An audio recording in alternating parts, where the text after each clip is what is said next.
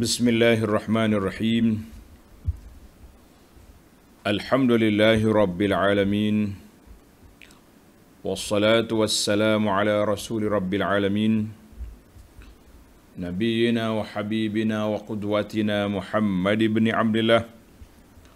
وعلى آله وصحبه ومن والاه. أما بعد. اللهم علمنا ما ينفعنا وذكرنا ما نسينا وانفعنا بما علمتنا وزدنا علما ولا حول ولا قوة إلا بالله العلي العظيم ولا حول ولا قوة إلا بالله العلي العظيم Muslimin dan Muslimat Para pelajar, para jemaah sekalian Assalamualaikum warahmatullahi wabarakatuh Alhamdulillah syukur kita kepada Allah Azza wa Jalla pada pagi 19 November 2021 kita dapat meneruskan pengajian kita dalam tafsir surah Al-Ahzab. Surah Al-Ahzab surah yang menyebut tentang peperangan Ahzab dan juga menyebut tentang Nabi sallallahu alaihi kehidupan baginda Nabi sallallahu alaihi wasallam dan keluarganya undang-undang perceraian membatalkan sistem anak angkat sebagai anak yang diamalkan oleh jahiliah dan sekaligus pada ayat ini juga satu lagi ciri-ciri keistimewaan Nabi sallallahu alaihi wasallam dalam bab perkahwinan. Ayat yang kita akan baca ni insya-Allah ayat 50 51 dan 52 iaitu Allah SWT senaraikan empat golongan, empat kategori wanita yang harus ataupun yang dibenarkan untuk Nabi SAW berkahwin dengan mereka dengan cara-cara yang tersendiri, dengan keistimewaan yang tersendiri khas untuk Nabi. Ha, kita akan bincang nanti, dia panggil satu lagi sunnah al-khususiyah yang tak boleh diikuti oleh uh, oleh umat. Nah, bila Tuhan kata khasatan laka, khas untuk Nabi sallallahu alaihi wasallam, maka umat dia tak masuk dalam perkara itu. Nah, tapi kita kena belajar jugalah sebagai mengetahui bagaimana perundangan syariat dan apa yang patut kita apa yang patut kita apa yang patut kita belajar, yang patut kita memahami keadaan situasi perkara yang berlaku kepada Nabi sallallahu alaihi wasallam dan pengajarannya. Kita kata alhamdulillah. Baik para pelajar sekalian, uh, ayat yang kita akan baca ni 51 50 51 52. Saya akan ambil ayat yang pertama dulu panjang sekali. Ha. Iaitu ayat 50 bagi jemaah yang ada tafsir pimpinan Ar-Rahman edisi Jawi muka surat 917 917 أعوذ بالله السميع العليم من الشيطان الرجيم. يا أيها النبي إنا أحللنا لك أزواجك اللاتي آتيت أجورهن وما ملكت يمينك مما أفاء الله عليك وبنات عمك وبنات عمك وبنات عماتك وبنات خالك وبنات خالاتك اللاتي هاجرن معك وامرأة مؤمنة إن وهبت نفسها للنبي وهبت نفسها للنبي إن أراد النبي أن يستنكحها. إن أراد النبي أن يستنكحها خالصة لك من دون المؤمنين. قد علمنا ما فرضنا عليهم في أزواجهم وما ملكت أيمانهم وما ملكت أيمانهم لكي لا يكون عليك حرج وكان الله غفورا رحيما Panjang ayat ini menyenaraikan kepada kita orang-orang yang dibenarkan berkahwin. Nah, ada empat kategori wanita khas untuk dibenarkan untuk Nabi sallallahu alaihi wasallam dan ada kategori yang memang dibenarkan kepada semua kepada semua orang. Baik. Kita ambil satu-satu kategori yang ada itu Para pelajar sekalian tengok hari ini kita mula dengan ya ayyuhan nabiyyu. Ha, ini nida panggilan khas kepada nabi yang keberapa ni? Yang keempat. Ha, sebab itulah dikata surah Al-Ahzab ini surah nabi sallallahu alaihi wasallam. Allah Taala panggil dia ya ayyuhan nabi daripada awal lagi sampai ke sini. Ya ayyuhan nabi. Wahai nabi inna ahlalna laka azwajak sesungguhnya kami telah menghalalkan bagimu isteri-isterimu allati ataita ujurahunna. Uh, bagi, halal bagimu isteri-isterimu yang engkau berikan mas kawin uh, ujurahunna yang bermakna mas kawin baik kita ambil satu-satulah. Tengok nota di bawah. Nota 1462 dalam ayat ini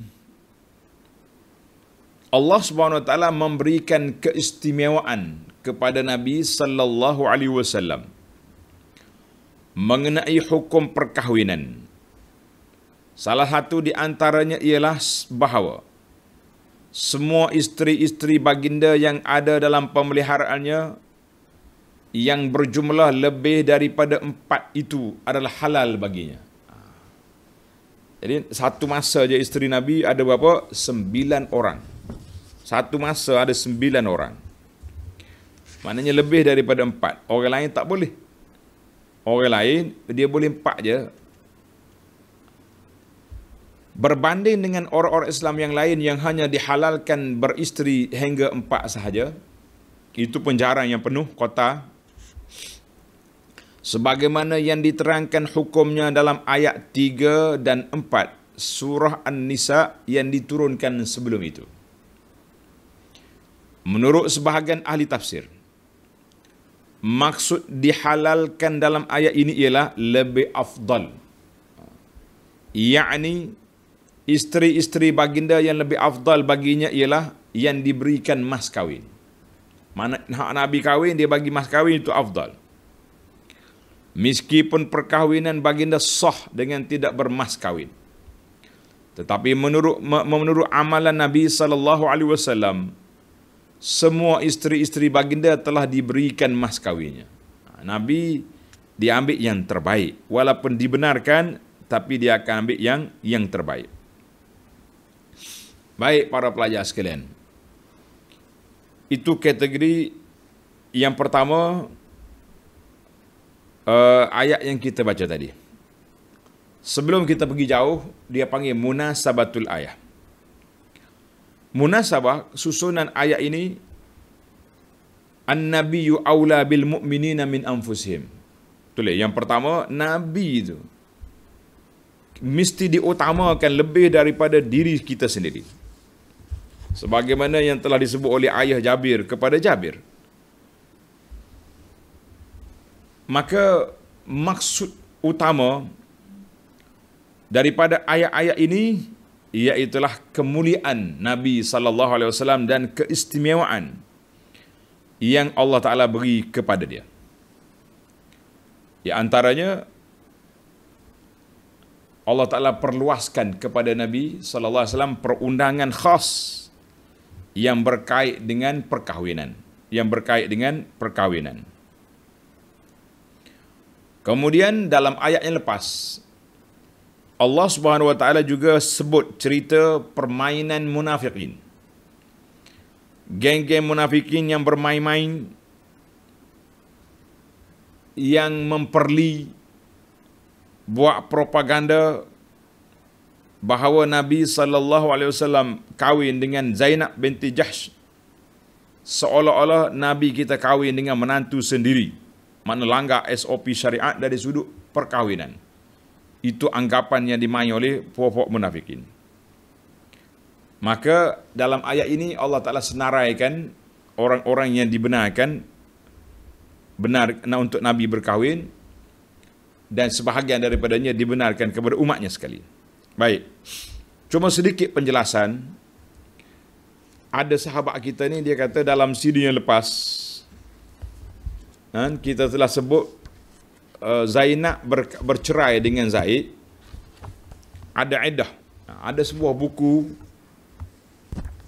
tafsir mana yang ada orang atas malam dia kata dalam tafsir itu kata Nabi kahwin dengan Zainab automatik tak ada aidah, tak ada tak ada mahar, tak ada apa. Kita kata saya bagi penjelasan eh. Dalam tafsir yang saya baca nama Muharrar. Muharrar ni mana tafsir yang telah diteliti. Yang telah disemak kedudukannya mereka mengatakan bahawa Zainab, kisah Zainab dengan Zaid radhiyallahu anhuma dan perceraian itu yang berlaku wa kanat madkhulan biha. Ahli-ahli peneliti pengkaji mengatakan Zaid sudah bersama dengan Zainab. Wa taddat dan dia beriddah Zainab beriddah ha, jadi kalau kita jumpa dalam buku lain kata tak beriddah maka buku yang kita ni lebih tepat berdasarkan hadis yang dikeluar oleh Imam Muslim. Hadis yang dikeluar oleh Imam Muslim dari Anas radhiyallahu anhu qala kata Anas lamman qadat iddatu Zainab. Dalam Muslim menjelaskan apabila selesai tamaknya iddah Zainab qala Rasulullah sallallahu alaihi wasallam li Zaidin fazkurha alayya nah tengok dalam Muslim jelas mengatakan apabila tamatnya iddah iddah siapa? Iddah Zainab. Itu dalam matan dia. Dalam syarah Muslim kata ai lamman tahat iddatu talaqi Zainab binti Jahshin hina talaqha Zaid bin Harithah. Jadi bila tamat iddah Nabi pun bagi tahu pada Zaid, Zaid mau pergi uh, minta Zainab untuk Rasulullah sallallahu alaihi wasallam. Yang bagi pin waktu dulu ini yang kita kata di antara isu besar yang berlaku. Oleh kerana peristiwa Zainab Zaid ini nak membatalkan sistem anak angkat yang dipakai oleh jahiliyah, maka Nabi pergi pinang Zainab untuk Zaid. Sekarang setelah tamatnya iddah Zainab yang dicerai oleh Zaid, Nabi kata, "Ya Zaid, uzkurha alayya." Mau bagi tahu kepada Zainab. Cerita ni panjang, saya pun tak nak cerita. Tapi tuan-tuan mungkin tak puas hati tak dengar cerita. Zaid pun pergi. Bila Zaid pergi, dia tengok Zainab ni, susah hatilah Zaid. Ialah bekah isteri. Nak bercakap susah, Zaid paling belakang. Tak mau beradak muka. Zainab, dia pun cerita. Apa yang dihantar oleh Nabi SAW. Kemudian selepas daripada itulah, barulah turunnya ayat Quran zawajnakaha kami dah kahwinkan kau dengan Zainab. Jadi selesailah. Cerita perkahwinan Zainab itu jelas sebagaimana dalam Sahih Muslim dan para ulama tafsir yang mengkaji mengatakan bahawa uh, Zainab dengan Zaid sudah bersama dan dia beriddah. Wallahu alam. Mudah-mudahan pencerahan pencerahan ini tidak lagi menimbulkan uh, tanya, tertanya-tanya bagi pihak pelajar-pelajar kita yang baca kitab tafsir yang lain. Baiklah para jemaah sekalian. Eh, kita tengok kepada ayat kita ni. Ya ayuhan nabiyyu inna ahlalna laka azwajaka allati ataita ujurahunna. Jadi dalam ayat ini kita telah jelaskan ayat ini menunjukkan kelebihan fadilah kepada isteri-isteri Nabi yang telah diberi mas kahwin. Sedangkan Nabi diizinkan untuk kahwin tanpa mas kahwin. Sebagaimana berlaku kepada Zainab tadi, Allah Ta'ala yang kahwinkan dia tanpa wali, tanpa saksi, tanpa mas kahwin. Itu hak. Tapi dari sudut dari sudut amali dari sudut amalinya semua isteri Nabi sallallahu alaihi wasallam baginda Nabi beri mahkawin kepada mereka. Alhamdulillah. Tengok dalam ayat ini kata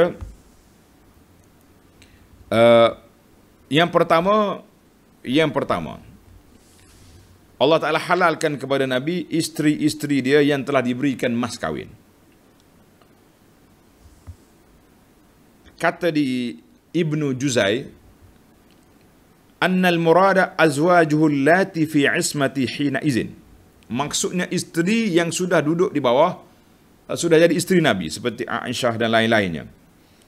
Maka Nabi sallallahu telah memberi kepada mereka mahar, mas kawin telah diberi. Hmm. Baik. Itu pandangan majoriti ulama.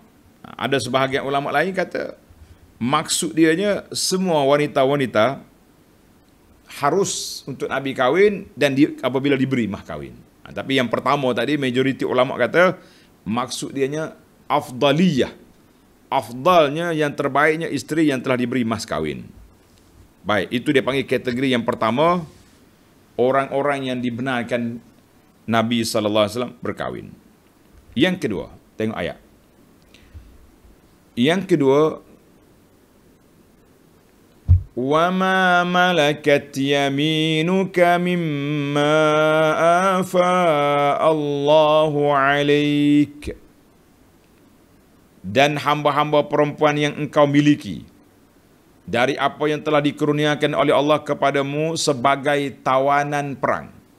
Tengok nota di bawah. Yakni yang lebih afdal bagi baginda ialah hamba-hamba perempuan yang didapati secara langsung dalam peperangan. Itu kategori yang kedua. Yang mana hak ni ni? Yang ni dalam isteri Nabi sudah ada. Siapa contoh dia? Iaitulah uh, contoh dia Sofia binti Huyai. Sofia binti Huyai itu tawanan perang dalam peperangan uh, Khaybar. Nah. Mana semua kategori ni ada belaka? Ha. Semua kategori ada belaka. Baik. Yang ketiga.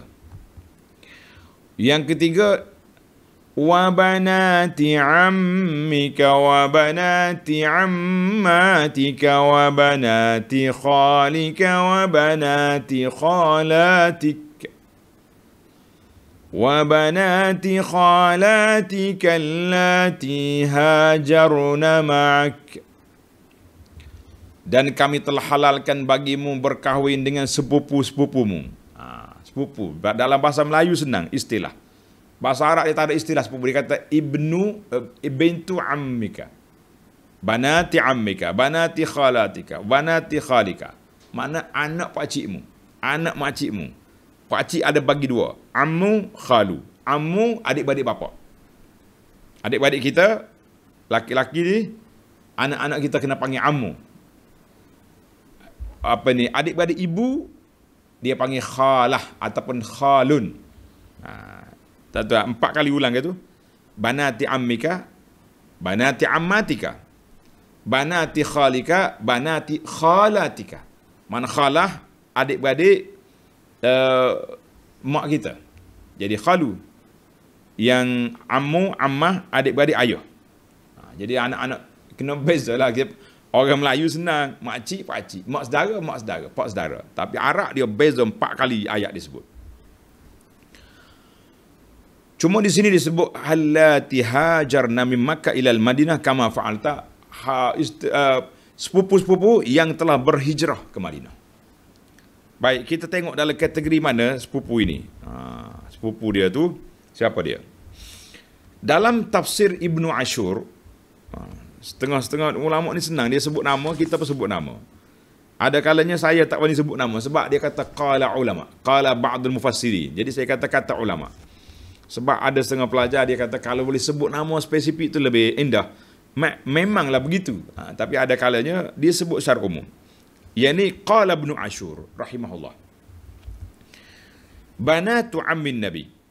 Ha, anak-anak pak cik Nabi, pak saudara dia. Siapa dia? Hona uh, seperti anak-anak Abbas. Anak Abbas boleh kahwin. Anak-anak Abi Talib boleh kahwin. Anak Abi Lahab boleh kahwin. Tak semesti ada. Ini ini kategori yang dibenarkan berkahwin. Semua anak-anak ni maknanya Nabi dibenarkan kahwin dengan sepupu dia dan termasuklah ummah. Kita semua dibenarkan kahwin dengan sepupu.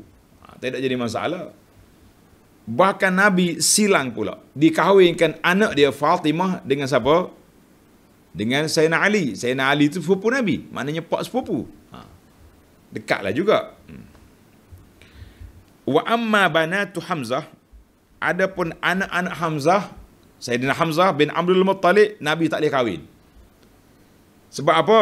Sebab Hamzah dengan Nabi ni adik-beradik susu. Pak saudara. Tapi adik-beradik susuan. Ha, jadi dia ada dia ada satu label lain pula. Maka anak-anak Hamzah sepupu dan anak saudara susuan maka tidak halal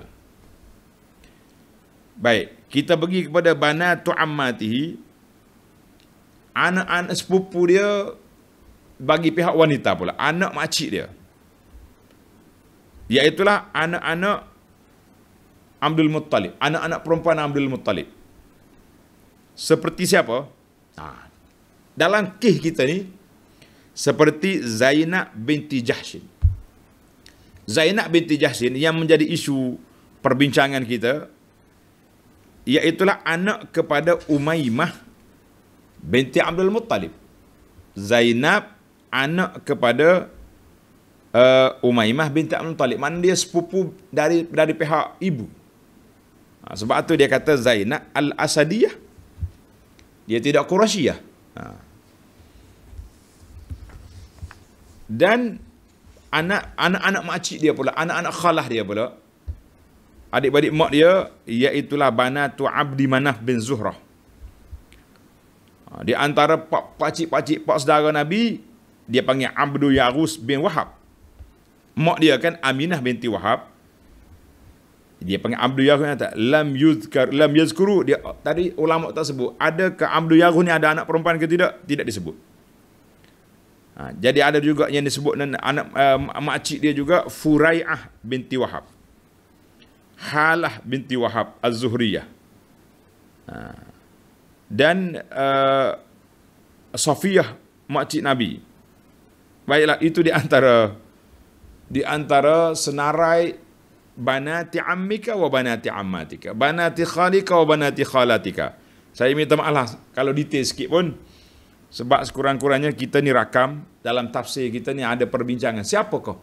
Anak uh, sepupu-sepupu Nabi yang dibenarkan kahwin. Ha, jadi maka kita kesimpulannya para pelajar sekalian harus seorang itu berkahwin dengan sepupu dia. Ha, ya orang kata faktor masalah genetik, faktor apa ni keturunan ni tak baik itu saya tak tahu, tak boleh nak komen lah.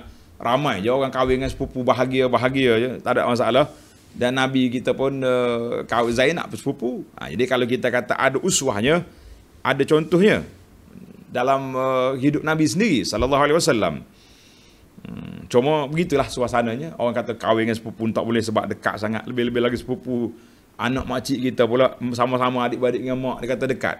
Jadi anak kata saya tak nak komen lah. Tak masuk dalam dalam kitab tafsir. Yang pentingnya dalam sunnahnya berlaku Nabi kita kahwin dengan sepupu dia Zainab binti Jahsin. Maknanya kisah Zainab ni banyak benda sebenarnya. Yang pertama nak membatalkan anak angkat. Ha. Yang kedua, boleh kahwin dengan sepupu. Ha. Satu lagi. Ha. Jadi Alhamdulillah. Baik para pelajar sekalian, ada pun uh, ayat Tuhan sebut hajarna ma'aka yang berhijrah bersama dengan Nabi. Maksudnya bukan mesti hari itu perempuan yang telah berhijrah. Jadi kata di sini para ulama tafsir kata apa? Maksud qaidul muhajirah bukanlah maksud maknanya Yang naknya maksudnya kemuliaan. Kalau kamu pilih yang berhijrah tu lagilah baik. Ha, sebab kemuliaan orang hijrah ni tinggi darjah. Orang yang berkorban, orang yang berani, orang yang uh, yang apa ni, yang sangat jelas uh, perjuangan dia. Berani tinggalkan kampung halaman untuk ikut Nabi berhijrah semata-mata kerana Allah Azza wa Jalla. Alhamdulillah. Baik, kita berpindah kepada kategori yang keempat. Yang keempat, tengok dalam tafsir. وامرأة مؤمنة إن وهبت نفسها للنبي Yang keempat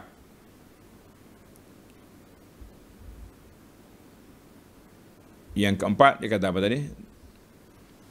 Uh, dan kami telah halalkan kami telah halalkan ala yang keempat ni.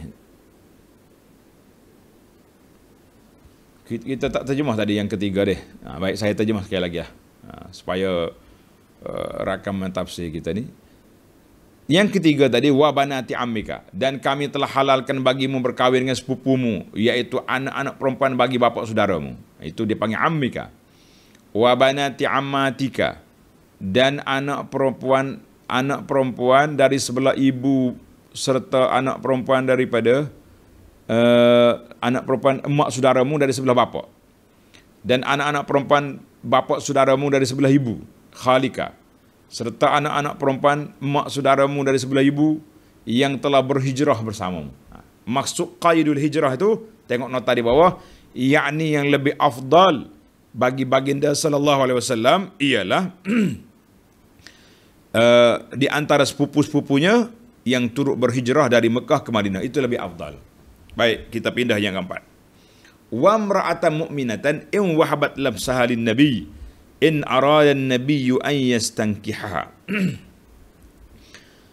Dan kami telah halalkan bagimu mana-mana perempuan yang beriman yang memberi dirinya kepada Nabi untuk dikahwinkan dengan tidak membayar mas kawin. Ha. Yang tidak membayar mas kawin, in arada an-nabiy an yastankihaha khassatan laka min dunil mu'minin. Tengok. Kalaulah nabi suka berkahwin dengannya. Perkahwinan demikian adalah khas bagi nabi semata-mata. Ha, jadi orang lain tak boleh bukan bagi orang-orang yang beriman secara umumnya tak masuk orang lain. Ah itu yang ke eh, yang ketiga deh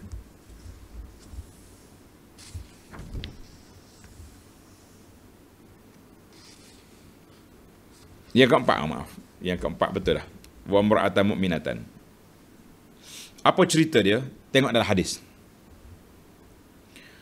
An Sahli bin Sa'din radhiyallahu anhu qala Ja'at imra'atun ila Rasulillah sallallahu alaihi wasallam faqalat Ya Rasulullah Seorang perempuan datang dia bagi tahu kepada Nabi Ya Rasulullah inni qad wahabtu laka min nafsi Ya Rasulullah, saya serahkan diri saya ni untuk Nabi.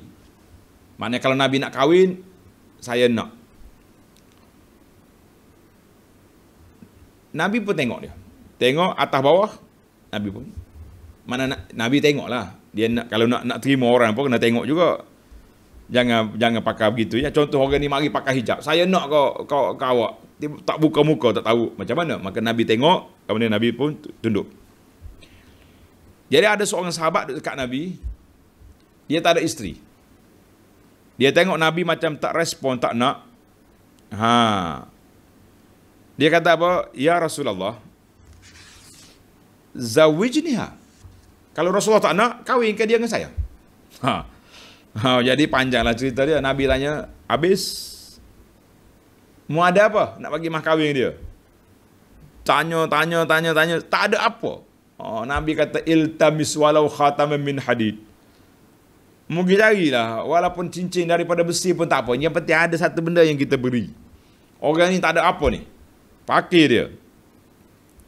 Akhir kali apa dia ada? Dia kata dia hafal beberapa surah Quran. Ha, maka Nabi kata, aku kahwin kamu dengan syarat muajar Quran kepada binimu. Boleh kita buat mas kahwin dengan taklim, dengan Quran.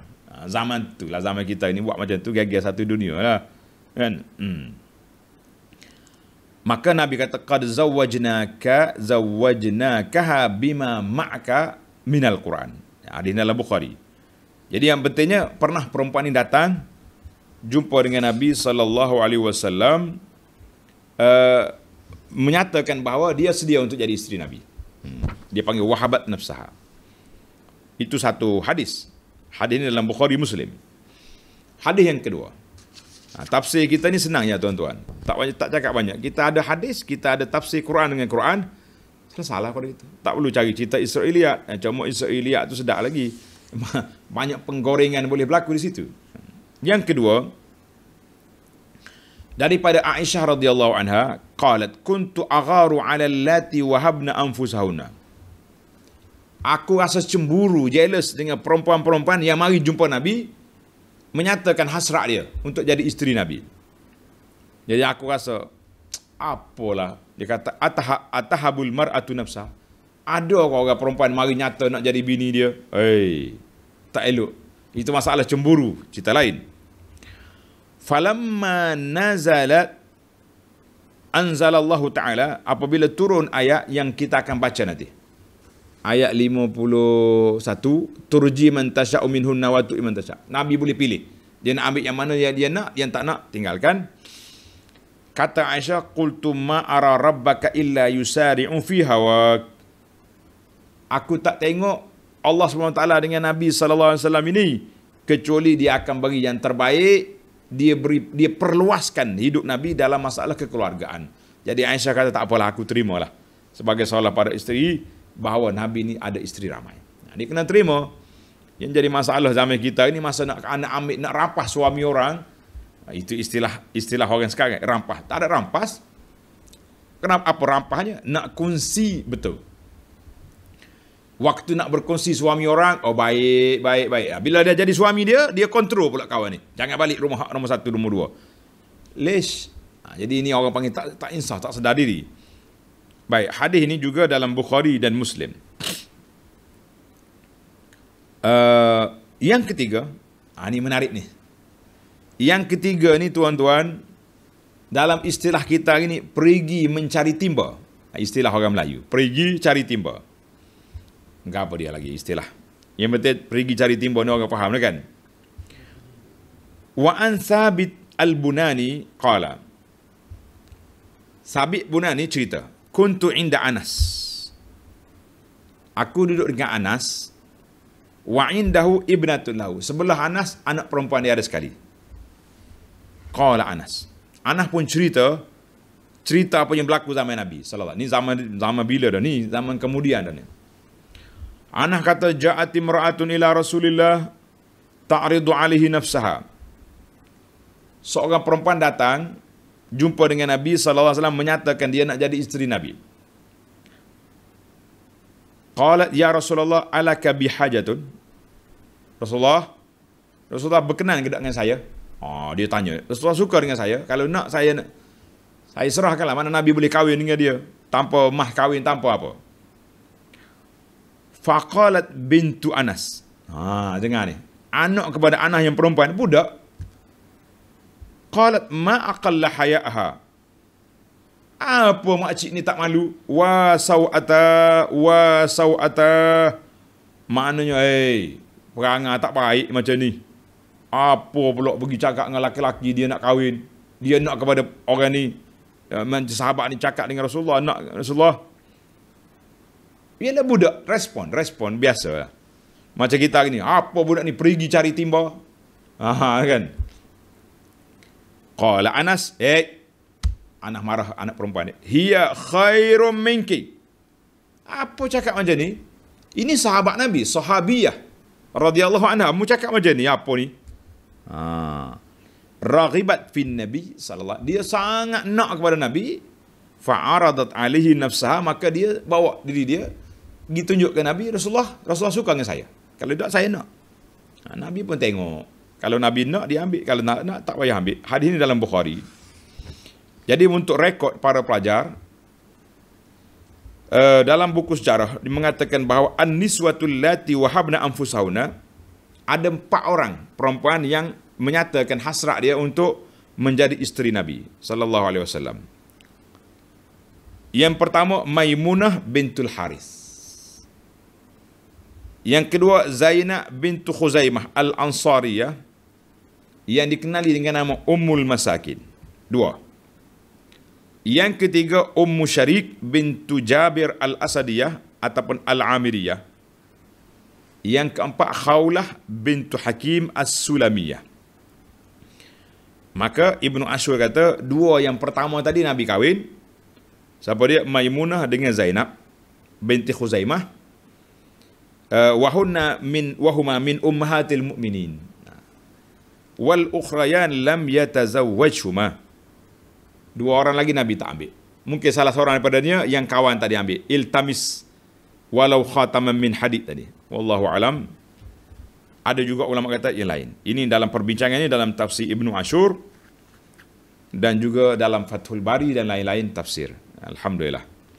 Ha, jelas kepada kita perbincangan ini saya pun sibuk salah sebenarnya. Orang kata sibuk salah maknanya payah. Nak hurai panjang sangat, takut jadi panjang. Ha?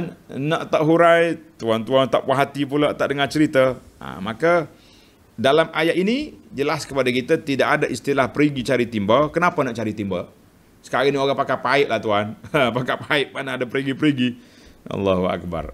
Jadi saya kata, Abu Anas kata, kalau kita ada anak perempuan, kita ada adik, adik kita ada adik-beradik perempuan, ini kita carilah kawan-kawan kita. Contohnya pelajar-pelajar ni.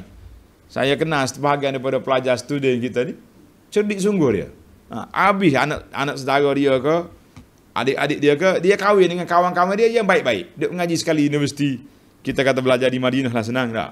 Ha, oh, ni juh ni. Dan kita kawan kita tahulah. Rajin, belajar, tekun, warak. Ha, inilah pilih. Cari adik kita ke, cari anak saudara kita ke, ha, sepupu kita ke, kahwin kan supaya eh kita ni kalau orang baik kita tak bagi, nak bagi kita apa? Oh, malu ustaz cari timba. Apa cari timba? Pakai pahit sekarang ni tak ada timba-timba kan. Ha. Alhamdulillah. Istilah tu kadang-kadang menyusahkan kita sendiri. Kan? Menyusahkan kita sendiri. Uh, wallahu alam. Baik, kisah empat orang tadi saya ambil dalam uh, Ibnu Ashur dan lain-lain. Itu sandaran kita wallahu alam. Jadi ayat ini Allah kata apa?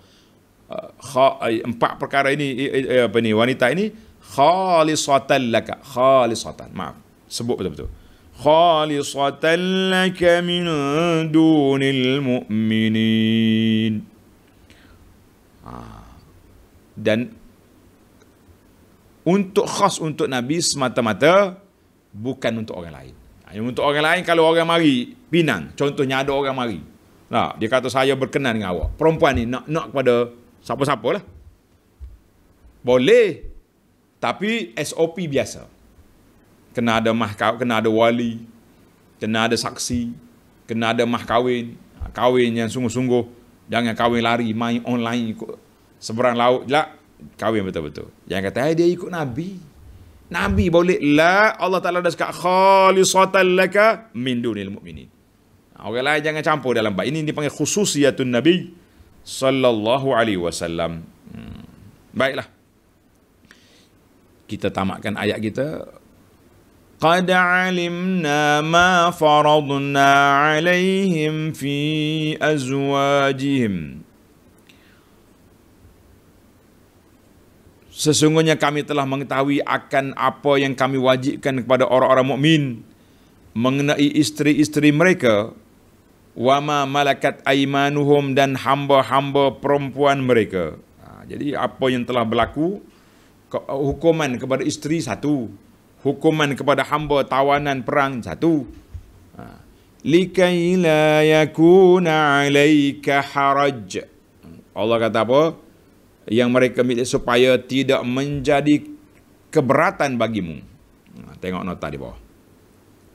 Yakni meskipun umatnya diwajibkan hukum-hukum yang telah ditentukan mengenai perkahwinan seperti membayar mas kawin Ha, memakai menggunakan wali dan saksi dan tidak dihalalkan bagi mereka lebih dari empat orang isteri tetapi baginda diberi keistimewaan dengan sifatnya sebagai seorang nabi supaya tidak mengalami kesulitan dalam masalah yang dihadapi Nabi sallallahu alaihi wasallam. Maka Nabi ini dia ada perundangan sendiri. Sebab Allah nak dedahkan rahsia Nabi kepada kita, nak dedahkan rahsia Nabi kepada kita, maka diberinya isterinya ramai. Isteri pula pelbagai latar belakang. Ha? Ada yang sudah muda, macam Aisyah yang belum pernah kahwin. Ada yang janda tapi janda muda. Ada yang sudah berumur, yang sudah beranak ramai seperti Ummu Salamah radhiyallahu anha. Jadi kita kata dengan pelbagai itu ah, kita tahu bagaimana cara Nabi berinteraksi dengan mereka. Rahsia-rahsia dalam rumah boleh diketahui. Yang boleh diketahui lah. Hmm. Wa kana Allahu ghafurar rahim. Dan ingatlah Allah adalah amat pengampun lagi amat mengasihani sesalah kita dalam masalah ini. Alhamdulillah. Allahu akbar. nah, jadi jelaslah kepada kita kita berpindah kepada ayat yang seterusnya ayat 51 ترجي من تشاء منهن وتؤوي إليك من تشاء ومن ابتغيت ممن عزلت فلا جناح عليك ذلك أدنى أن تقر أعينهن ولا يحزن ولا يحزن ويرضين بما آتيتهن كلهن. والله يعلم ما في قلوبكم وكان الله عليما حليما. Engkau siapa dia engkau? Nabi sallallahu alaihi wasallam. Setelah Allah nyatakan kepada kita kumpulan-kumpulan yang dibenarkan untuk kahwin dalam ayat ini ayat 51 ada lagi. Bila orang poligami maka di sana adanya pembahagian. Nah siapa berpoligami dia kena bagi secara adil. Sila sebut hak ni orang panggil khilaf kepala mula nak nak tunduk kepala orang-orang yang poligami dah ada yang poligami tak bagi tahu pada isteri yang pertama Isteri yang kedua pun tak tahu. Sembunyi-sembunyi, mati baru tahu. Kita kata tuan, kesian ke anak-anak. Anak nombor satu, anak nombor dua, nombor tiga, itu adik-beradik itu. Kenapa kita haramkan mereka daripada bertemu, daripada beradik-beradik atas dunia ini? Ha, tunggu mati baru nak jumpa adik-beradik. Ha, tapi, biarlah kalau kita masuk campur bak ni, nanti ada yang lari pula kan, ha, yang koyak pula. Ini kahwin pandai tapi nak nak jaga isteri-isteri itu sukar. Yang kita kata jangan jangan mudah nak koyak-koyak. Hmm? Tengok dalam ayat kita ni masalah pembahagian dibenarkan untuk Nabi. Turji man tasha'u minhunna wa tu'wi ilaika man tasha'. Engkau boleh menangguhkan sesiapa yang engkau kendaki dari mereka dan engkau boleh mendampingi sesiapa yang engkau kendaki. Nah, dalam masalah pembahagian, Allah kata Nabi ni seorang yang adil.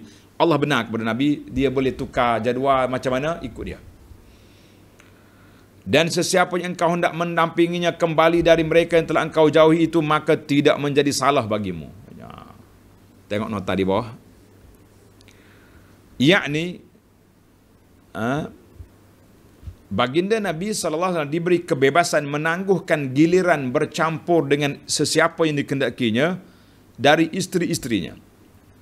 Dan boleh mendampingi sesiapa yang dikendakinya dan mana-mana yang hendak dicampurinya kembali sudah dijauhi maka tidaklah menjadi salah baginya melakukan yang demikian. Jadi ayat ini betul-betul memberi hak istimewa kepada Nabi sallallahu alaihi wasallam. Kebebasan yang diberikan kepadamu itu bila diketahui oleh mereka adalah lebih dekat untuk mententeramkan hati mereka. Jadi isteri pun tahu dah, ini hak Nabi, mereka pun tenang lah. Hmm. Adalah uh, dan menjadikan mereka tidak berduka cita. Serta menjadikan mereka pula reda dengan apa yang engkau lakukan kepada mereka sekaliannya. Dan ingatlah Allah sedia maklum mengetahui akan apa yang ada dalam hati kamu dan Allah adalah amat mengetahui lagi amat penyabar. Ha, jadi dalam ayat ini ada beberapa kes. Yang pertama, hukum Nabi kita sallallahu alaihi wasallam boleh pilih. Ha, dia nak duduk rapat yang siapa dengan jauh yang mana tidak jadi masalah. Itu khas untuk Nabi. Dia panggil maksud dianya mukhayyar diberi pilihan dalam bab pembahagian jadual. Nabi buat sendiri. Kadang-kadang satu hari Nabi pusing semua isteri dia tu. Daripada pagi sampai petang dia pergi rumah orang ni, rumah orang ni, rumah orang ni. Ada kalau Nabi sibuk, dia pergi uh, ikut jadual saja. Ha, itulah itu, itu Nabi sallallahu alaihi wasallam oleh kerana Nabi ini tidak uh, seorang yang adil, seorang yang telus, uh, seorang yang uh, apa ni integriti, maka Nabi Allah Taala benarkan dia. Tapi kamu yang tidak ada integriti, Allah Taala beri kepada kita hukuman keras kata Nabi SAW dalam hadis mana-mana ada orang yang ada isteri ramai tapi dia tak ada atas dunia dia berjalan di akhirat esok sengit kepala. Ha, kita tengok orang berjalan sengit esok hei mu ada berapa bini? tanya. Ha, sudah. Tapi apa boleh buat di akhirat? Buat apa lagi penyesalan? Kan? Ha, baiklah kita menyesal atas dunia. Baiklah para jemaah sekalian uh, jelaslah dalam ayat kita ni Allah Taala benarkan untuk Nabi sallallahu alaihi wasallam boleh uh, pilih siapa yang dia nak tapi Allah kata wa yardaina bima ataitahun kulluhun bagi tahu baik-baik supaya mereka tenang ha, isteri itu tenang kenapa kenapa kenapa di akhir ayat Allah kata wallahu ya'lamu ma fi qulubikum Allah Taala tahu dalam hati kamu ha. maksud dia kalau orang kahwin lebih daripada seorang mestilah model baru tak sama dengan model lama. Kan? Model baru tak sama dengan model lama. Macam kita beli kereta lah juga. Ini kereta model tahun 70-an. Yang ni model tahun 2000. Sama ke tak sama? Tak sama. Ha, tapi uh, penjagaan tu kena sama. Minyak kena isi. Uh, apa ni minyak hitam kena tukar. Kalau kotor kena basuh. Maksudnya dari sudut fizikal kena sama. Kena ada rumah tempat tinggal, ada pakaian, ada makanan. Tapi masalah a'malil qulub, masalah hati, kecenderungan hati, sayang ke, lebih kepada yang baru itu dimaafkan. Tengok dalam kata, wallahu ya'lamu ma fi qulubikum. Allah tahu apa yang tersembunyi dalam hati kamu. Min umurin nisa yang kamu suka, yang yang ni yang suka yang tak ni. Nah, yang baru yang lama tak kira sebenarnya layanan itu. Kadang-kadang yang baru pun, oh, mentang ke dia muda, dia punya bengis lain macam dengan orang tua ni. Jangan main. Ha, yang lama pula baik. Ha, jadi tak kira. Yang pentingnya, masalah hati dimaafkan. Sebab kita payah juga hati ni. Ha, tapi masalah fizikal zahir, lah, mesti adil. Tak boleh uh, bagi yang ni, bagi yang ni. Tak boleh. Kena adil wa kana Allahu aliman halima. Allah taala itu sangat amat mengetahui lagi amat halim lemah lembut kesian belas kepada hamba-hamba dia. Jadi Allah taala uh, beri kelonggaran kepada kita dalam masalah amalul qulub dalam masalah lain tak boleh. Dalam hadis Nabi sallallahu nabi kata hadza qasmi fi ma amlik. Nabi dah bagi kepada isteri-isteri dia kalau Nabi kata hadza qasmi fi ma amlik. Inilah pembahagian yang aku mampu bagi. Tapi ada juga bahagian yang aku tak miliki iaitulah masalah hati. Wallahu alam. Baik, kita tamatkan perbincangan kita. Kita nak panjang-panjang pun perkara ini sudah berlaku kepada Nabi sallallahu alaihi wasallam. Ada yang menjadi khususiah dan ada yang menjadi umum untuk kita. Umum untuk umat dia, bagi orang yang kahwin ramai mesti berlaku adil kepada isteri. Siapa tak adil sengit di akhirat esok berjalan dan juga masalah kecenderungan hati itu di antara perkara yang dimaafkan. Kita kata Alhamdulillah. Baiklah, ayat yang terakhir. لا يحل لك النساء من بعد ولا ولا لا يحل لك النساء من بعد ولا أن تبدل بهن من أزواج. من أزواج ولو أعجبك حسنهن إلا ما ملكت يمينك. وكان الله على كل شيء رقيبا Tidak halal bagimu berkahwin dengan perempuan-perempuan yang lain sesudah isterimu yang ada ini. Habis. Allah Ta'ala tutup pintu dah. Masa tu ada sembilan orang isteri Nabi. Semasa sembilan orang. Nabi kata, Allah kata apa? Lepas pada ni Muhammad, tak ada lagi. Tak boleh kahwin dah. Dan engkau juga tidak boleh menggantikan mereka dengan isteri yang baru. Sekalipun engkau tertarik hati kepada kecantikan mereka, mana kalau nak kota penuh, boleh tak cerai seorang ambil yang baru? Tak boleh juga. Hmm. Tak boleh. Kecuali hamba-hamba perempuan yang engkau miliki. Ha, kalau hamba tawanan perang itu dibenarkan. Tapi untuk kahwin sudah tidak boleh. boleh. Hmm. Dan ingatlah Allah sentiasa mengawasi akan tiap-tiap sesuatu.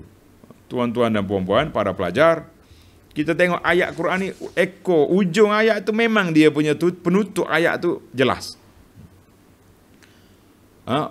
wa kana Allahu ala kulli syai raqibah setelah Allah Taala bagi keputusan tak boleh kahwin lagi Allah kata Allah Taala perhatikan apa yang kamu buat ayat ini panjang sedikit perbahasan ulama ana boleh ambil kesimpulan ada ulama mengatakan ayat ini muhkam tidak ada mansuh maknanya jelas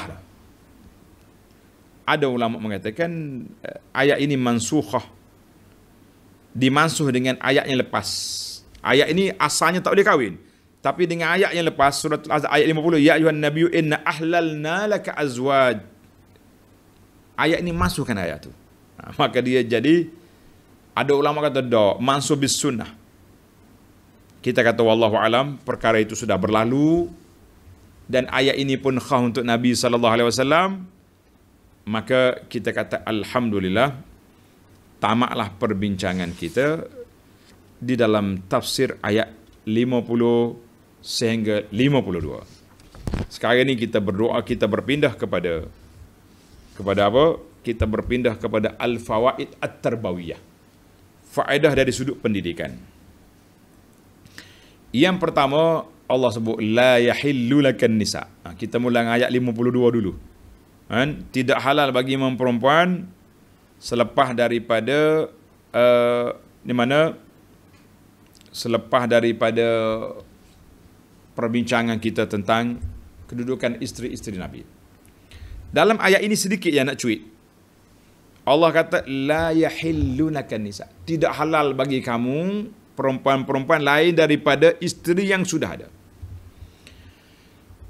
Ayat ini kemuliaan bagi Nabi sallallahu alaihi wasallam Allah guna perkataan yang cukup tenang tidak halal lagi Tuhan tak kata wa harrama alayka ma wara azalik lain daripada sembilan orang ni haram katamu itu kasar bahasa ha. Ulama kata apa al khitab lil mu'minin bila kita nak bercakap dengan orang penggunaan bahasa itu sangat penting penggunaan bahasa sangat penting saya tengok bahasa yang diguna tempat kita dengan bahasa yang diguna di Indonesia berbeza. Kita kata apa? Jangan buang sampah merata-rata. Itu ayat kasar. Kan? Orang lain tidak. Ha, dia kata, sela letakkan sampah dalam tong. Ayat positif. Sela letakkan sampah ya di dalam tempatnya. Jangan buang sampah merata-rata. Ayat itu kasar. Ha, macam tu juga. Jangan jangan guna perkataan jangan tu banyak sangat. Ha, kan? Ha, ni dak ni ada setengah setengah budak-budak tulis hanya monyet dan kera saja campur sampah merata-rata. Ayat dia tu ayat banking sangat-sangat. ha, apa ayat juga tu. Jadi kita guna bahasa macam dalam dakwah kita kata. Amalan ini, perbuatan ini tidak ikut sunnah. Orang tenang. Tapi kita kata amalan ini bid'ah. Uish ustaz ni suka membinakan orang. Oh, naik naik naik orang dulu. Benda sama ya. Ha. Amalan ini tidak ikut sunnah. Tak ada dalam amalan Nabi wasallam para sahabat. Tapi oh ini bidah. Bila bila bidah dia naik merah telinga. Bidah sesak, sesak ke neraka. Jadi aku ngalih neraka lah. Ha, tengok dia punya dia punya cara. Ha, jadi elok kita ayat tengok Allah Taala penggunaan ayat itu penting dalam menyampaikan maklumat. Ha, tapi sekali-sekala kena juga tak? kena sentap juga sekali lagi tidak tak faham-faham sebab itulah uh, bila bila bila kita pergi rumah orang besar-besar ni tengok dia tak tudung. Tak tudung kepala. Kita kata cantiknya rumah ni semua bertudung. TV ada tudung. Uh, apa ni langs tingkap ada tudung, ada kain lansir dia, ini semua ada tudung. Tuan dia tak tudung. Hmm. Sengih suka tak faham-faham. Cakap ala makcik, mak datin pakai tudung haram. Oh, senang kan macam tu. Ha, kadang-kadang orang ni sindir payah nak faham. Kena sentak juga barulah bau dia celek mata. Oh, backing ustaz ni eh. Aha. Nah, kita pun cakap tak sunnah ini. Amalan ni tak sunnah, payah nak faham. Bid'ah. Ha, bagi sebiji baru dia. Oh, bid'ah. Ha, bila dengar kau geng dia pula, hmm, ustaz tu memang suka membid'ah. Dah, aku tahu dia belajar mana tahu dah. Subhanallah. Itukah hukuman kita? Jadi kita belum dengar lagi apa orang cakap, hujah orang cakap, kita dah jatuhkan hukuman. Ini satu kezaliman nama dia macam tu. Baik, itu yang pertama. Yang kedua, firman Allah Ta'ala, Qad alimna ma faradna alihim. Ha. Allah Ta'ala telah bagi ketetapan. Allah dah tetap dah ini hukumannya. Nabi dibenarkan kahwin lebih empat. Dia dia boleh pilih, tak pilih macam mana. Ha. Maka kata di para ulama, and, uh, Allah Ta'ala farada ana faraidah fi azwajina, maka setiap orang, bila Allah Ta'ala tetapkan satu perkara, kena terima, kena akur. Mu nak kahwin lebih pada seorang? Naam, ambil. Dibenarkan sampai empat. Tapi SOP jaga. Keadilan, ketelusan, uh, beri kasih sayang secara zahirnya, yang batin itu cerita lain. Kena ada. Jadi tak bolehlah kita uh, terima, nak-nak tapi ambil separuh. Tak boleh. Ha, kena ambil semua sekali. Yang ketiga, zalika adna an taqarra ayunuhunna wala yahzan. Bila kamu bagi tahu baik-baik mereka pun tenang mereka tak duka cita di sini ulama tadabbur kata yang bagi sepatutnya kita kena masukkan khabar-khabar gembira maklumat yang menyukakan kepada orang Islam supaya mereka tidak duka cita macam hari ni contoh ramai sahabat kita ni sedih. Apabila dia kena kuarantin kena pakai glamping Ha, jadi kita maklumlah ke dia tuan, puan, kami pakaikan gelampin ni sebab tuan kontak rapat dengan orang ni. Covid ni dia bukan keluar dalam masa dua hari. Dua hari, tiga hari barulah ha, buat buat swab. Contoh hidung. Dua hari baru dapat keputusan. Ha. Maka kenapa kita letak sepuluh hari? Kenapa? Ha, jadi maklumkan orang akan tenang. Ha, sama jugalah dengan dengan apa-apa keadaan, keadaan pun hukuman yang telah ditetapkan kita kena maklum. Itu dipanggil ta'lilul hukum. Nyatakan hukum dengan sebab orang lebih senang mahu terima daripada kum payakun kenapa tak boleh benda ni? Ha, kita pun cerita. Satu oh. Ha, tenang hati kan? Kenapa tak boleh? Ha. Uh, bila kita larang anak tak boleh main kita bagi tahu kenapa tak boleh main petang ni awak jangan pergi ya, jangan keluar rumah. Sebab apa? Oh, nak, nak hujan ada apa. Jadi kita kena maklum satu segala benar. Yang keempat, tengok ayat Tuhan kata, Wallahu ya'lamu ma fi qulubikum. Allah Ta'ala tahu dalam hati kamu. Maka wajib setiap orang itu yuttaqa. Kita kena bersifat takwa sebab Tuhan tahu dalam hati kita. Bila Tuhan tahu dalam hati kita, yang kita simpan pun Tuhan tahu. Yang kita zahir pun Tuhan tahu. Baiklah kita zahirkan yang baik yang tersimpan dalam hati juga yang baik supaya kita tidak menye- tidak di akhirat esok terdedah juga. Allah kata yauma tublas sarair pada hari didedahkan segala perkara. Terbuka rahsia nanti. Yang kelima wa kana Allahu ala kulli syai'in raqiba. Allah Taala bukan sekat tahu, dia perhatikan, dia tengok, dia kawal. Kamu semua duduk buat kawal. Ayat ini menjadi ayat motivasi besar supaya kita tidak langgar SOP. Inilah yang kita belajar mengenali sifat Allah Ta'ala. Sifat Allah Ta'ala melihat, mendengar, mengetahui. Waktu kita nak mengumpat, ah, Tuhan mendengar. Waktu nak bagi rasuah, Tuhan tengok, habis. Tak, waktu kita nak merancang buat tak baik, Tuhan tahu. Tak adalah orang boleh jadi jahat sebab kita sudah mantap dia punya akidah. Ini dia dipanggil ayat ayat ihsan. Wa kana Allahu ala kulli syai'in raqiba. Jangan berani-berani langgar perintah Allah Azza wa Jalla, langgar hudud. Baik, itu lima dari sudut pendidikan. Kita berpindah lima lagi al-fawaid al-ilmiyah. Faedah ilmiah. Yang keenam, fi qawlihi ta'ala allati ataita ujurahunna. Ha. Perempuan yang kamu bagi mas kawin. Maka kata di para ulama daripada ayat ini mas kawin dalam mas kawin dalam perkahwinan itu rukun dan nikah tu. Kena ada mas kawin, ada mahar. Ada mahar. Tapi dalam masalah Nabi sallallahu alaihi wasallam ini itu dipanggil hak istimewa Rasulullah sallallahu alaihi wasallam tak boleh kita campur. Nabi boleh kahwin tak ada mahar, itu Nabi. Engkau siapa? Ha, kena ingat. Okay, kita kan disuruh ikut Nabi, betul. Tapi Allah kata khalisatan laka minul mu'minin. Ha, ini khas. Ha, ini ada seorang yang tak apa betul jalan. Konon-kononnya dia ikut Quran. Dia kahwin sembilan orang. Yang pertama dia kata Nabi ada isteri sembilan orang di Madinah. Ha, betul ke dia? Yang kedua, ha, bu, uh, dalam Quran Tuhan sebut, Fankihu ma tabalakum minan nisa'i masna. Kahwinlah para perempuan itu dua orang. Wasulasa, tiga waruba empat. Tiga dua tiga lima empat sembilan. Dia nikah sembilan orang ikut Quran. Dia ikut Nabi. Kita kata ini tak betul berjalan punya orang punya orang. Mana boleh uh, kira macam tu?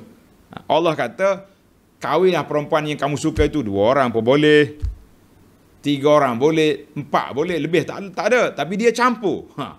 eh cerdik punya apa buat ajaran sesak ni? Hmm. baiklah yang ke berapa tu? Yang keenam, yang ketujuh al-muharramatu bin nasabi. Ha, Allah kata uh, wa banati ammika wa banati ammatika. Dalam ayat ini Allah Taala telah menyatakan orang-orang yang diharamkan berkahwin dari sudut keturunan. Siapa dia? Makcik, adik-beradik, kemudian anak saudara. Tapi ada pun anak makcik-makcik, sepupu-sepupu dibenarkan. Jadi ambil lah. Kalau dia benar, ambil lah. Kan? Maka harus berkahwin dengan sepupu. Dan bukan sahaja harus berkahwin dengan sepupu, memang berlaku pun kepada Nabi melalui Zainab. Allah. Zainab ni besar kedudukan dia. Ha? Besar kedudukan dia. Batal anak angkat pun dia. Membatalkan adat yang mengatakan tak boleh kahwin sepupu dengan dia. Kita kata, Masya Allah. Baik yang ke berapa dah kita? Yang ke 8, ha, yang ke 8 wa mar'atan mu'minatan in wahabat. Ha, jadi orang perempuan yang kata boleh serahkan diri dia untuk Nabi sahaja. Orang lain kalau serah pun boleh, tapi kena kahwin lah. Kena kahwin. Kahwin dengan siapa? Kahwin, betul. Dia datang, uh, tak ada istilah pergi cari timba, tidak ada. Yang adanya, perempuan mencari suami yang baik. Silakan. Itulah di antara uh, ada kawan saya kawan dia apa ni sahabat rapat masa belajar dulu. Jadi dekat dengan nak mati kawan tu. Anak ramai, dia kata orang yang boleh jaga anak dia ni kawan dia tu. Dia berwasiat kalau dia mati mungkin ambil bini dia jadi uh, jadi janda dia tu, balu dia jadi isteri. Ah, pening ya. Akhir kali jadi juga ke dia. Jadi jangan buat orang lain itu tak boleh. Hmm, bukan semua orang boleh terima macam tu. Ha. Yang ke apa lagi? Yang ke sem, yang ke-8 uh, khalisatan laka min mana itu khususiah untuk nabi yang Tuhan sebut khas untuk nabi tak boleh kita campur. Ha, sebab tu dalam sunnah ni sunnah ada sunnah yang tasyri'iyah, perundangan. Itu wajib kita kena ikut. Ataupun yang sunat ada sunnah dia panggil uh, takririyah sunnah ni jibiliyah mana jibiliyah mana manusia biasa nabi makan nabi pakai nabi berjalan ha. mana kalau kita buat ikut nabi insyaallah boleh pahala ha. ada lagi dia panggil khasah ha. ini khususnya ini tak boleh ikut ha. saya nak ikut nabi ikut hal lain lah yang ni tak boleh ha. kahwin lebih daripada empat tak boleh ha. kahwin tanpa mahar tak boleh kita nabi je boleh itu dia panggil khas untuk Nabi sallallahu alaihi wasallam. Jangan campur orang lain. Yang kesembilan Allah kata likai la yakuna alayka harajun supaya Allah Taala tak mau menyusahkan Nabi sallallahu alaihi wasallam maka Allah Taala perluaskan untuk hidup Nabi banyak kerja Nabi ni memimpin umat mentadbir negara maka dalam bab kekeluargaan itu ada kelonggarannya ha, kalau tidak payah pula Nabi kau duk habis masa dengan duk jaga isteri saja sedangkan dia nak jaga isteri dan ummah dia. Yang terakhir uh, yang ke-10 wallahu ya'lamu ma fi qulubikum. Dia panggil Allah Ta'ala yang maha mengetahui dalam hati kamu ha, annama fil qalbi mimma la yamlikul insan. Dalam hati kita ni ada benda yang kita tak boleh tak boleh kontrol. Seperti apa? Seperti orang yang kahwin ramai hati dia lebih cenderung kepada yang nombor satu, yang nombor dua, yang nombor tiga, nombor empat, itu masalah hati. Ha, jadi dalam masalah hati, itu dimaafkan. Tetapi yang zahir, mesti sama. Ha. Sama juga isu dengan kita dengan anak-anak kita. Kita ada anak 10 orang. Tak sama kasih sayang mesti ada yang lebih ni ni ni. Anak yang baik yang dengar kata anak yang tak nakal, jaga solat, tutup aurat, mesti kita lebih sayang daripada anak yang melompat sana sini. Ha, tapi dari sudut amali zahir kita kena bagi kasih sayang sama. Nak bagi makanan bagi sama, nak bagi pakaian sama, nak bagi uh, apa ni keperluan sama. Tapi dalam masalah hati itu berbeza. Itu dimaafkanlah sebab benda di luar daripada kawalan kita. Nah, tapi ingatlah baik-baiklah di akhir ayat tu kan wa kana Allah ala kulli syai'in raqiba. Mana bila Tuhan tahu ya'lamu ma fi qulubikum Allah Taala tahu apa dalam hati kamu. Wa kana Allahu aliman halima. Tuhan tahu belaka. Jadi bila Tuhan tahu, kalau kita nak sembunyi kepada orang lain pun, kita tak, tak, tak boleh nak sembunyi kepada Allah, maka kita zahirkan kasih sayang kita sama semua kepada isteri-isteri, kita zahirkan kasih sayang kita sama semua kepada anak-anak, jangan ibu bapa nampak benci kepada sebahagian daripada anak. Ni tidak ni. Anak dia sayang, oh, sekali dengan cucu cici dia sayang lagi. Allah, tapi kalau anak dia dia tak suka, Cucu datang rumah, lompat sikit. Allah, bahasa budak. No pok ni. Hai, bahasa budak ikut pok. Pada ayah tu, hak kita tak sayang. Menantu dia ke tak sayang ke? Dia buat kerana lah. Ha, makcik-makcik ni pun ada masalah juga. Sebab itulah ada setengah menantu dia kata, Ustaz, berdosa ke saya?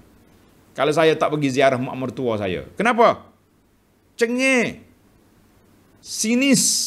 Oh, dia punya sakistik ayak dia macam-macam. Tu orang kereta ya mak mertua jenguk kat pintu. Alah, beg baru pula. Beg baru pula. Dia ingat tu, kawan tu balik baru ni beg kuning, ni balik beg hijau tak? Oh, beg baru pula. Punyalah haru makcik macam ni.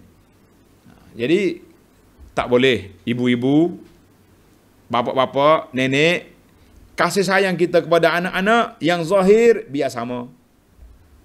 Yang benci tu simpannya dalam hati. Sambil kita berdoa, Ya Allah, Ya Tuhanku, kan?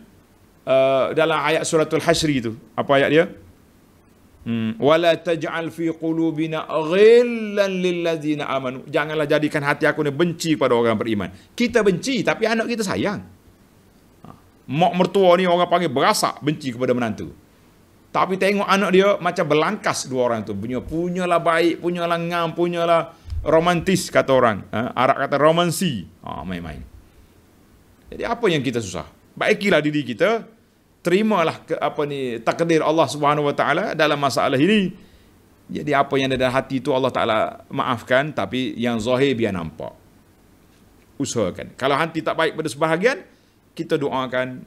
Kita berdoa berusaha untuk mengikis perkara yang tak baik mudah-mudahan kita dapat keadilan ketulusan dalam hidup kita ini insyaallah tilka asyaratun kamilah 10 perkara selesailah daripada yang dapat kita kutip dalam siri ini insya-Allah.